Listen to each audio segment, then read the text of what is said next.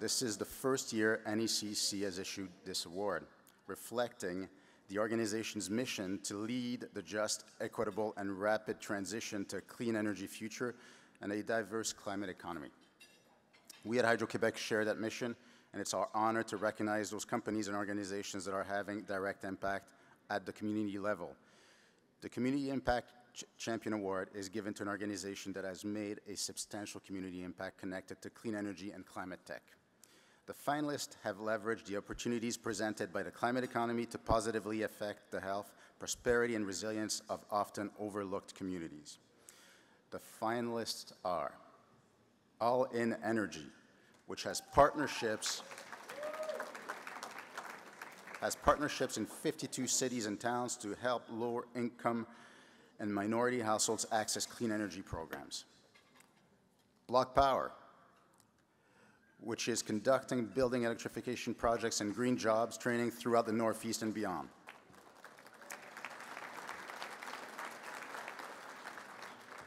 Citizens Energy Corporation, which has built the Daughters of Mary microgrid in New Britain, Connecticut, as part of its 40 community-based solar projects across the country.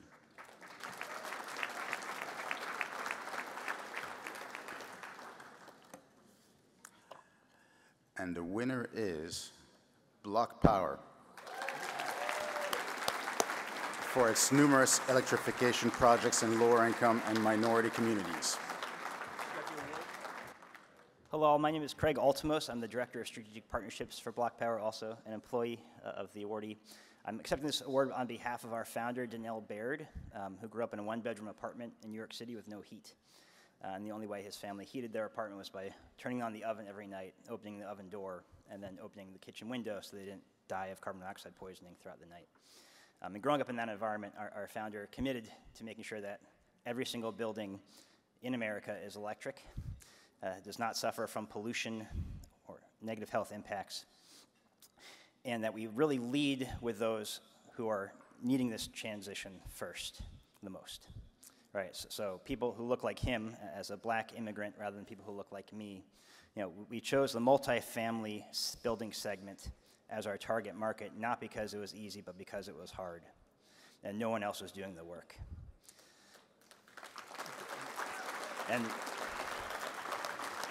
so we are committed to making that just transition happen with that segment first in line. Uh, but we definitely could use some help. If you own or know people who own multifamily buildings in Massachusetts, we'd love to help you decarbonize them. Um, I want to give a shout out to some of our partners in the room, uh, the Massachusetts Clean Energy Center, which is funding us to launch a program to train 30 returning citizens to enter the building electrification industry next year, uh, which we're partnering on with Roxbury Community College, Browning the Green Space, the Boston Office of Returning Citizens, and Codman Square Neighborhood Development Corporation. Um, really, a huge number of folks in this room we could thank. I also want to give a shout out to our fellow nominees uh, All in Energy and Citizens Energy for their phenomenal work. Uh, but as many others have said, this is absolutely a crisis moment. We all need to be doing our best, so, so let's get to it. Thank you very much.